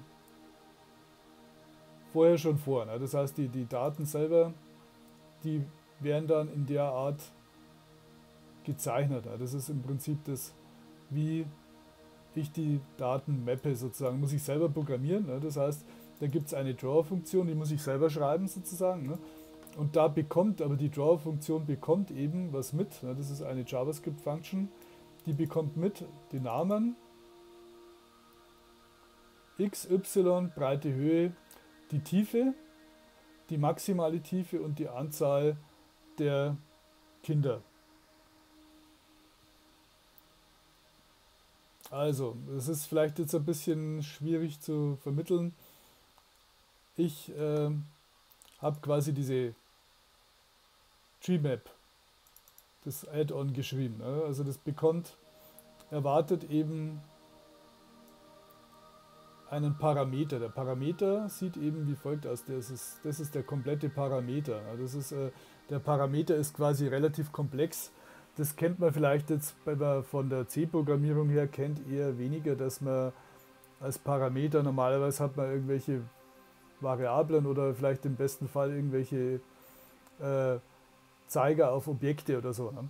Aber ich kann im Prinzip hier einen relativ komplexen Parameter angeben und zwar kann ich da ein Objekt angeben, ein JavaScript-Objekt, das dann wieder in zwei Teile aufgeteilt ist. Eben im Prinzip einfach diese Beschreibung der Daten und auch die Daten und dann eine Funktion sozusagen. Ich kann im Prinzip, das ist ja diese funktionale Programmierung, die ich bei JavaScript auch machen kann, ich kann da auch ruhig Funktionen in die Parameter mit reingeben äh, und die dann quasi in, nachdem sie ja quasi angekommen sind als Parameter in dem Objekt, dann da nochmal verarbeiten. Das heißt, diese Funktion wird von meiner TreeMap Add-on aufgerufen und bekommt dann für jeden einzelnen Knoten diese Werte.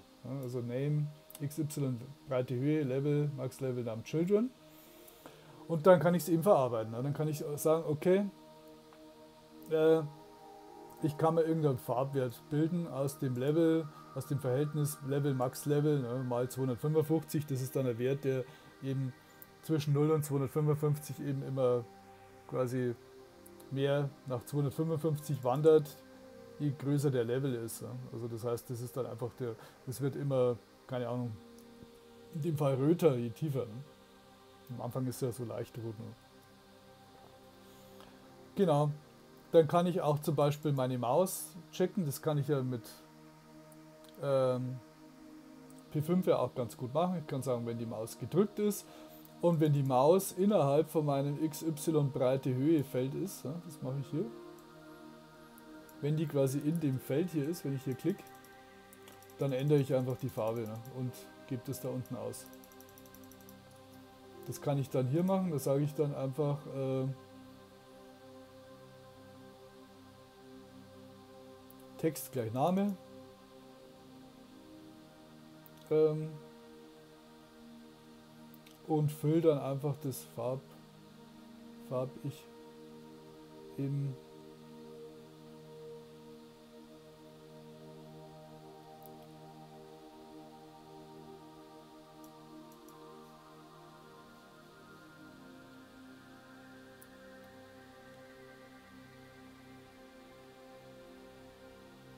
die Füllung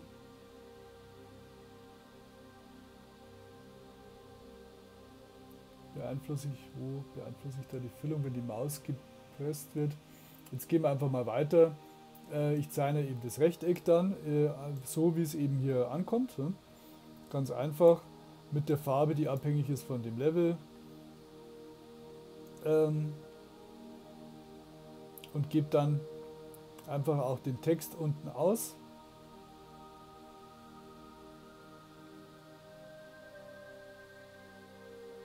Genau, und habe dann hier noch so einen Wert, das ist auch noch interessant, der hier nochmal wegsteht. Also das heißt hier Draw bekommt, ist die Funktion, die da mitgegeben wird, aber es gibt da noch einen weiteren Wert. Also es gibt hier Description, Data, Description, Draw und Inset ist im Prinzip die Einrückung. Die könnte ich quasi auch größer machen, 12 ne? und könnte dann das Ganze stärker einrücken, was natürlich jetzt irgendwie blöd ist, weil dann verschwinden manche Sachen. Ich kann das aber auch auf 0 setzen und dann hat es überhaupt keine Einrückung. Dann ist es quasi diese Tree Map, wie es eben quasi von Schneiderman beschrieben worden ist. Ja. Genau. Und das ist im Prinzip die Anwendung der Tree Map. Ja, da ist es jetzt nochmal. Wenn ich dann die Maus drücke, dann ändere ich einfach die Farbe von die Füllung nochmal anders. Ja. Genau und gebe den Text als äh, Info aus. Ja, das mache ich eben bei der Draw nochmal. Also ich zeichne hier die TreeMap durch den TreeMap-Aufruf und dann behandle ich das mit dem Maus. Drücken nochmal extra. Da ist es ja nur so, ich merke mir ja im Prinzip, wo ist denn die Maus. Ne? Das heißt XP und YP und den Text merke ich mir. Und dann äh, zeichne ich eben das Rechteck in einer anderen Farbe, in dieser violetten Farbe oben drüber. Genau. Äh, das ist quasi die Anwendung von diesem Gmap-Ding, ähm, das Add-on. Und ähm, wie es im Detail funktioniert, also ist ja so, dass ich das ja eigentlich schon erklärt habe. Und zwar erstens mal per Hand gezeichnet ja, und dann eben mit dem Algorithmus, der eben dieses, diesen tiefen Durchlauf macht hier. Das eine ist ja das Scannen, das Zeichnen funktioniert aber ähnlich. Ne? Ich bekomme ja im Prinzip diese JSON-Datenstruktur mit und die wird dann hier gezeichnet. Also einfach dann mit meinem Add-on. Man kann mal den Quellcode sich anschauen von dem Add-on. Der ist im Prinzip dann hier drinnen bei Add-ons natürlich. Und da gibt es dann hier p5.treevis. Das ist im Prinzip das ist ein bisschen umfangreicher. Ähm, ich kann jetzt auch mal kurz, ich gehe dann gleich mal drüber, ich möchte das mal zeigen, wo Sie den dann auch finden können. Und zwar gibt es da auch eine GitHub-Seite dazu. Ne? Das ist hier bei github.com Schnurber Treevis. Ja, also das ist äh, im Prinzip äh, meine, eine meiner GitHub- äh, Seiten hier und da kann man das Ganze eben runterladen. Das eben, da sind diese Add-ons drin. Ähm, Beispiele, da gibt es den Scanner, na, ich gehe das mal kurz durch. Also der Scanner, der ist quasi hier nochmal, der, nur der Python-Scanner, den C-Scanner habe ich dann im Prinzip rausgelassen. Ähm, es gibt bei Examples ein paar Examples, ja, natürlich. Ähm, bei Add-ons ist das Ganze eben drinnen und es gibt noch den Source Code ähm, und zwar in JavaScript, objektorientierten JavaScript. Also das heißt hier, das ist nämlich nochmal anders, wenn ich hier mir den, das Ganze anschaue, dann ist das in diesem p5.prototype.treemap, das ist in diesem klassischen JavaScript Prototype, also JavaScript 1.4 geschrieben und ich habe ja das auch schon mal erklärt in dem anderen JavaScript-Video.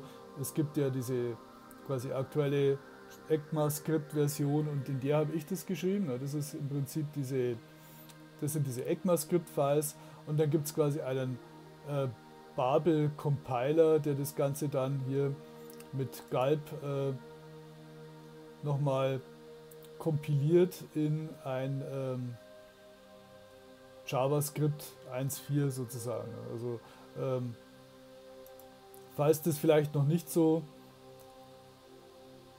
klar ist, was das hier macht, also das ist der Source Code. Das heißt, da habe ich quasi das Add-on programmiert ähm, und das ist eben in dem JavaScript 2015 ECMAScript geschrieben. TreeMap.js ist zum Beispiel hier, können wir mal aufmachen. Das ist im Prinzip eine das sieht natürlich sehr objektorientiert aus, wie man sieht. Äh, Class GMap, Extrans Treevis. Ja. Ähm, das ist quasi, kann man nochmal Babel JS nochmal zur Wiederholung nochmal sagen. Es gibt quasi das moderne JavaScript ähm, und es gibt einen JavaScript Cross Compiler, der eben JavaScript, modernes JavaScript in altes JavaScript kompiliert. Den habe ich da eingesetzt. Ja. Normalerweise müsste der Code jetzt auch schon in modernen Browsern auch ohne den Compiler funktionieren, aber damit das auch überall funktioniert, habe ich das eben kompiliert. Der fügt es dann auch in eine Datei zusammen. Ich habe nicht mehrere Dateien. Ähm, ich kann aber im Prinzip mir das auch mal anschauen. Das ECMAScript 2015, da gibt es eben diese Beschreibung von dem modernen JavaScript hier, die kann man auch finden, dass es zum Beispiel sowas wie Classes gibt. das habe ich ja normalerweise dem alten JavaScript bis 1.4 eben nicht gehabt ähm, und so weiter. Kann man hier nachlesen, wie es äh, eben funktioniert. Ich habe das Ganze den Compiler dann verwendet und da gibt es eben verschiedene Versionen, wie man den aufrufen kann. Ähm, und zwar braucht man da auch wieder irgendwelche anderen Tools dazu. Ähm, zum Beispiel irgendwelche Bildsysteme. Ne? Die gibt es äh, wenn Sie ja von der C-Programmierung kommen, kennen Sie ja irgendwie sowas wie Make oder so. Bei JavaScript gibt es da eben schon eine ganze Menge davon, ne, wie man sieht hier. Ähm, da gibt es zum Beispiel beliebt, beliebtes Grunt oder Galb, den habe ich genommen. Und da sieht man auch, äh, man muss den irgendwie machen mal einen Schnelldurchlauf. Also Sie können sich das Video vielleicht nochmal anschauen. Es gibt ja dieses äh, quasi Kommandozeilenbasierte JavaScript auch. Ne? JavaScript läuft ja normalerweise im Browser, wie wir ja schon wissen. Man kann das aber quasi auch auf der Konsole laufen lassen und da eben ähm, ja, mehr machen. Man kann da quasi auch einen Webserver programmieren. Es gibt da so ein Ökosystem, das heißt äh, Node.js. Das kann man auch nochmal erwähnen. Äh, Node.js mal so angeben. Node.js das ist im Prinzip so eine relativ, äh, da hat man auch wieder Black Lives Matter, ähm, kann man nur unterstützen, wie gesagt. Ähm, man sieht auch, die ganzen Webseiten sind jetzt wohl ähm, hier auch äh, quasi im Protestmodus. Ähm, normalerweise ist es eigentlich ganz nett, dass man das jetzt hier auch so in der Form zeigen kann. Ne? Also ähm, ja, also Riesenthema in Amerika natürlich. Wir sind natürlich interessiert jetzt in der Vorlesung an dem Node.js, ähm, aber deswegen kann man das normalerweise hier installieren über diese Webseite.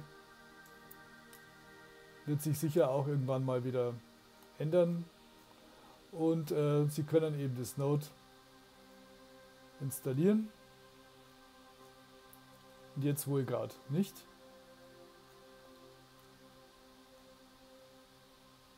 Die Docs sind noch da, ne? das sieht man auch.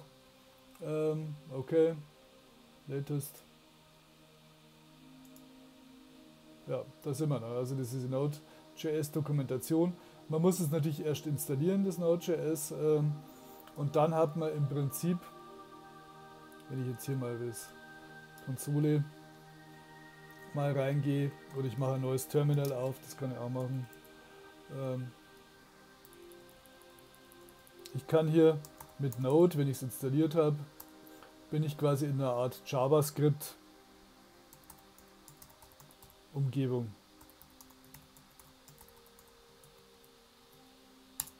Ja? Und kann da quasi JavaScript ausführen auf der Konsole. Es gibt dann noch dieses äh, Ökosystem dazu. Äh, das nennt sich NPN, Node Package Manager. Und da sieht man auch, dann kann man eben hier Help äh, eingeben. Und über dieses Node Package Management System kann ich ganz viele Bibliotheken nachinstallieren ähm, und kann eben auch schlussendlich, das wollte ich jetzt noch sagen, dieses Bildsystem installieren, diesen Node Package Manager und kann dann dieses Sculpt installieren. Galb Babel und habe dann das Bildsystem, um äh, mit Babel über das Galb JavaScript zu kompilieren in JavaScript. Ja. Genau. Ähm, da sieht man schon auch, wie es funktioniert. Ich kann hier mit Require das einbinden, äh, kann dann so verschiedene Tasks machen, zum Beispiel ein Default-Task und kann dann sagen, okay, mein Source-File ist das hier, kann da mehrere angeben und kann dann sagen .pipe Babel, das heißt kompilieren und .pipe dest, in welchen Ordner, dist-Ordner das Ganze dann ausgegeben werden soll und so weiter. Kann natürlich auch verschiedene Source, äh, quasi Stern.js mit Wildcards, verschiedene JavaScript-Files zusammenbinden. Ja. Und genau das habe ich eben, um jetzt da wieder zurückzukommen zu meinem ähm, Files, das auch machen. Ja. Ich kann dann im Prinzip bei dem äh, bei meinem Git ähm, zum Beispiel diese ganzen Source-Files hier nehmen die hier und kann die dann mit diesem äh, Galb-File hier, ich kann dann quasi Galb einfach eingeben in dem Ordner und dann kann ich das kompilieren und ich kompiliere quasi alles, äh, also vor allem diese Files hier, Treevis, JS, Treemap, JS und Sun, Burst.js, kompiliere ich dann eben mit ES 2015, das ist eben diese JavaScript-Version, äh, zu einem p5.treevis. Genau minifiziert und so weiter. Kann man dann auch alles machen.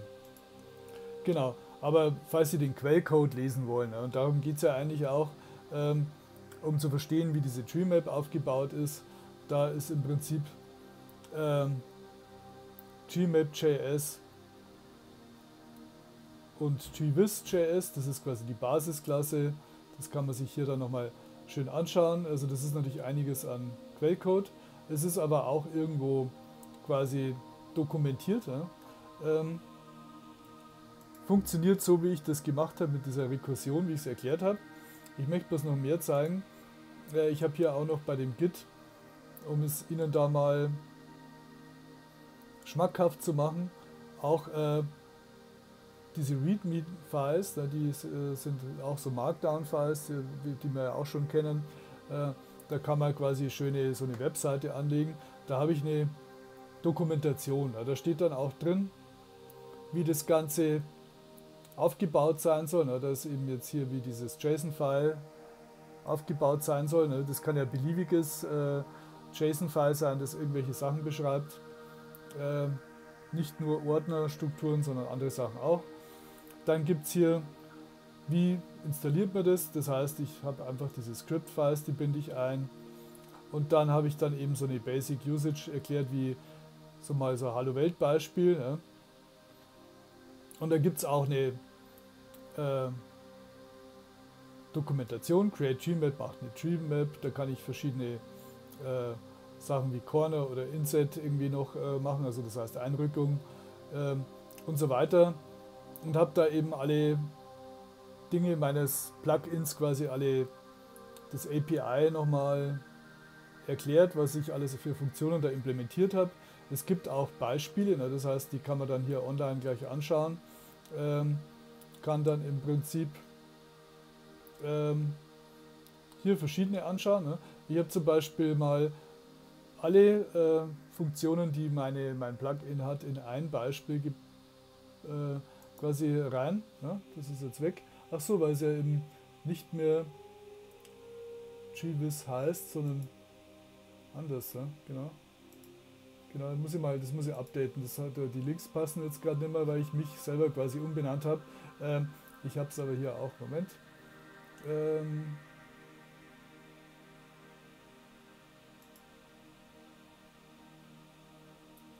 ich habe es hier auch natürlich. Das ist da. Ähm, Moment. Dann machen wir das natürlich über Offline. Das werde ich dann noch umbenennen. Das heißt, wenn ich jetzt hier fertig bin, dann funktionieren die Links wieder. Das heißt, Sie können sich dann die Beispiele auch mal äh, anschauen auf der GitHub-Seite. Ähm, genau, die heißen jetzt nämlich nicht mehr die Links hier, die kann man einfach mal so auch. Genau. Genau, ich könnte jetzt hier das einfach updaten, das mache ich jetzt auch, das ist vielleicht auch die schnellste Möglichkeit. Ich habe mich ja nicht mehr, das heißt hier nicht mehr OTH AW, sondern einfach, das müsste jetzt eigentlich gehen. Ja, genau, hier haben wir es. Ne? In einem, ähm, muss ich einfach die Links updaten, mache ich da nachher. Ähm, es gibt hier nicht nur TreeMap, ich habe dann im Prinzip, dass man auch sieht, dass diese ähm, quasi das Mapping, das visuelle Mapping kann auch anders aussehen. Ich kann ja hier, da habe ich eine Tree Map, das ist immer die gleiche JSON-Struktur. Ne? Da habe ich so eine Tree Map, da kann ich ja übrigens rein und rauszoomen. Ne? Ich kann hier rein und rauszoomen, indem ich draufklicke. Ne? Also mit der linken Maustaste kann ich quasi in die Ordner rein, eine Ebene rein und rechts wieder raus. Ne? Kann ich hier zum Beispiel diese relativ tief verschachtelten Dinge reingehen. Da sind irgendwelche Files drin. Das ist irgendwie ein Projektordner von irgendeinem Webprojekt. Und da kann ich einfach hier rein und raus klicken und das Ganze eben jetzt hier online auch quasi als Webseite machen. Äh, ich habe dann diese Tree-Map und ich habe hier noch eine weitere Visualisierungsmetapher eben implementiert, die heißt Sunburst. Das ist aber eigentlich das Gleiche. Ne? Das ist im Prinzip so aufgebaut, dass äh, meine Wurzel ist innen der Kreis und die äußeren, das sind im Prinzip dann immer die, die nächsten Kinder sozusagen. Ne? Und die Files selber, also die einzelnen, äh, die einzelnen Blätter sind im Prinzip die farbigen Dateien. Das kann man auch festlegen und ich kann da auch rein und raus. Ich kann hier quasi reinklicken. Ich kann zum Beispiel hier sagen, ich möchte gerne in diese Datei, in diesen Ordner hier rein und dann sehe ich dann hier, was liegt da drin. Da liegen hier verschiedene PNGs drin, da liegen hier noch irgendwelche äh, JavaScript-Dateien drin, da kann ich dann noch weiter rein und das ist im Prinzip die eine untere Datei, da liegen eben verschiedene ähm, PNG-Files und CSS-Files drin. Ich kann dann wieder mit Rechtsklick eine Datei höher klicken. Ja. Und so kann ich quasi einen interaktiven Browser ähm, irgendwo auch ähm, ja, relativ leicht im Web verfügbar machen. Also im Prinzip diesen, das, äh, diese gescannte JSON-Datei, die ist natürlich fest, aber ich kann die jetzt quasi hier interaktiv durchsuchen indem ich diese, dieses Add-on hier verwende, das ich da eben ähm, auf GitHub habe. Ja, genau.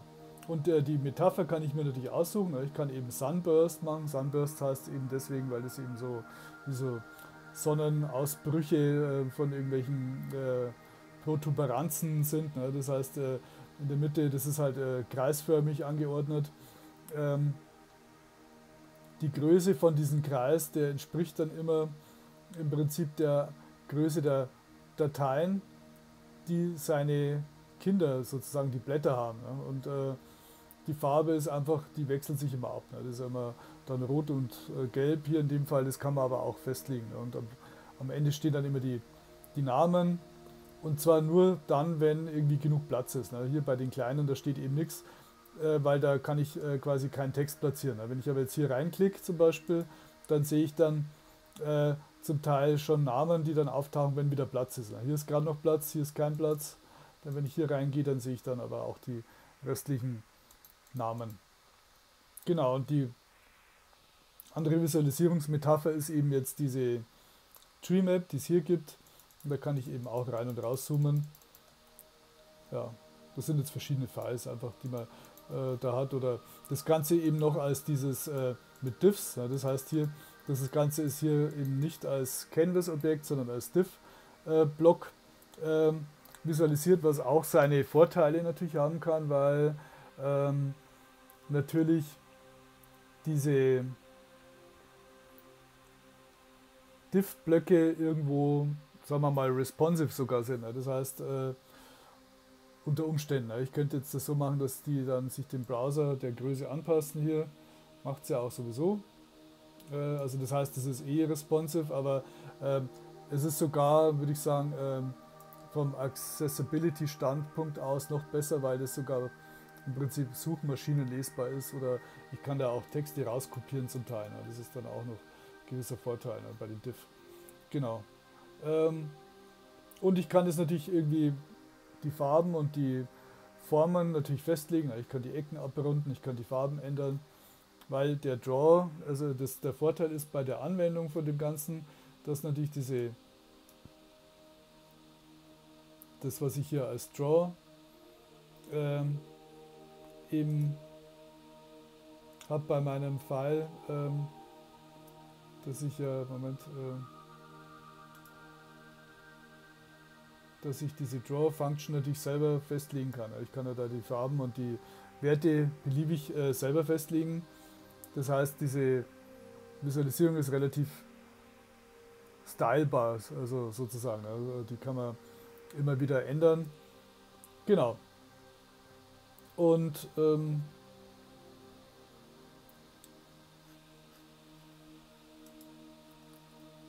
den Rest kann man hier einfach auch gut nachlesen. Das heißt, wie das funktioniert. Ähm, und also ich werde jetzt auch mal diese gleich mal diese äh, Pfade anpassen. Ansonsten können Sie das Ganze natürlich runterladen. Das heißt, Sie können das hier mit äh, Clone oder Download runterladen, also entweder mit Git Clone oder mit Download Zip natürlich. Dann können Sie sich das anschauen. Sie können in dem Ordner Scanner eben mit diesem scandir.py ähm, das Ganze natürlich äh, irgendwelche Dateisysteme scannen und dann eben die Visualisierung anpassen. Es sind ja eben Examples drinnen. Ähm, und ja, im Prinzip wäre es das eigentlich auch schon. Ne? Das heißt, Sie haben hier äh, auch die Erklärung, wie Sie was kennen und wie Sie diese Test-JSON-Datei erzeugen. Ähm, Sie haben so eine Basic Usage Beispiel und dann eben die Dokumentation der einzelnen äh, Methoden, die man da hat und äh, Befehle und so. Äh, und da wäre jetzt einfach die Aufgabe, sich das nochmal selber anzuschauen. Also ich will jetzt auch nicht im Detail erklären, wie diese TreeMap selber zustande gekommen ist. Ja. Das können wir uns dann vielleicht in einem weiteren Video nochmal anschauen. Was ich jetzt von Ihnen haben will, ist, dass Sie das einfach mal quasi machen, nachvollziehen. Das heißt, Sie scannen sich selber Dateisystem, Sie laden sich quasi den Code runter äh, und bringen das Ganze zum Laufen und äh, visualisieren Ihr eigenes Dateisystem, das Sie da gescannt haben. Ja, das wäre jetzt so eine Aufgabe, die man äh, machen kann. Ähm, es steht ja alles da. Ne? Ähm, wie gesagt, was Sie noch machen müssen, ist eben vielleicht diesen, das Ganze in so einer Serverumgebung laufen zu lassen, weil es sonst nicht funktioniert. Aber das habe ich ja auch schon im Prinzip erwähnt, wie das Ganze funktioniert hier mit diesem, was wir eben schon hatten, was hier schon läuft gerade, dass man hier diese, den Server eben startet mit Python M HTTP Server. Sie müssen dazu natürlich irgendwo diese Python-Umgebung auch installiert haben. Also das funktioniert mit Python 3 nur. Es gibt eine Python 2 Version auch, die ist aber quasi syntaktisch leicht anders. Ich möchte hier aber jetzt auch gar nicht darauf eingehen, weil wir, denke ich, eh in Python 3 arbeiten. Äh, ansonsten nehmen Sie halt äh, eine andere Serverumgebung, ne? also mit Xamp oder MAMP oder so kann man das natürlich auch machen. Ähm, und äh, wo Sie eben rein müssen und was anpassen, ist eben, also wie gesagt, Sie scannen erst die Datei, die, also die, das Dateisystem und dann dürfen Sie halt bei der Indexdatei, die es hier gibt, ähm, eben, da sehen Sie ja, dass hier dieses B5GWIS JS ist, das ist im Prinzip die JavaScript-Datei, die das macht. Da geben Sie einfach mal eben den Namen an der Datei, die Sie laden wollen und darstellen wollen. Und dann können Sie da auch schon mal bei dem Draw eben da versuchen, das vielleicht zu verändern, ja? also wie das Ganze eben dargestellt wird. Ähm, Sie können dann eben da in der Hilfedatei nochmal nachschauen und das Ganze dann auch nochmal weiter anpassen. Und Sie können natürlich in diesem ähm, Quellcode nochmal schauen, wie das funktioniert. Das heißt, da ist ja dann äh, genau der Aufbau von diesen Files nochmal erklärt. Das heißt, wie funktioniert meine TreeMap? Und es gibt quasi die Gemeinsamkeiten von TreeMap und Sunburst. Das sind ja einfach nur quasi andere Mappings. Also das heißt, da sind die Mappings drin, aber wie im Prinzip diese Visual Structures aufgebaut sind, das sieht man in der quasi Elternklasse Treevis und das kann man sich auch mal vielleicht nochmal anschauen, wie die aufgebaut ist. Das ist im Prinzip äh, in dieser ECMAScript-Funktion ähm, und das ist eigentlich relativ äh, lesbar, denke ich, ähm, mit irgendwo auch einigermaßen Dokumentation dazu. Ähm, das kann man sich nochmal anschauen und das wäre eben jetzt die konkrete Aufgabe, das zu machen. Ansonsten, ich verlinke das YouTube-Video dann natürlich auch mit diesem äh, GitHub. Ja? Das heißt, das werde ich dann auch noch mit angeben. Und da wünsche ich dann ansonsten äh, viel Spaß, äh, auch mit äh, Informationsvisualisierung, mit Dateisystems kennen. Sie können das natürlich auch gerne weiter verwenden, das Ganze. Das ist, denke ich, unter einer gewissen, habe ich da eine Lizenz dazu. Äh, eigentlich nicht. Ne? Das heißt, da haben wir eine, das ist äh, Apache License, unter der dürfen Sie das Ganze quasi verwenden äh, in Projekten, wie Sie das möchten. Und ja, genau, dann wünsche ich damit viel Spaß und äh, fröhliches Visualisieren sozusagen. Genau.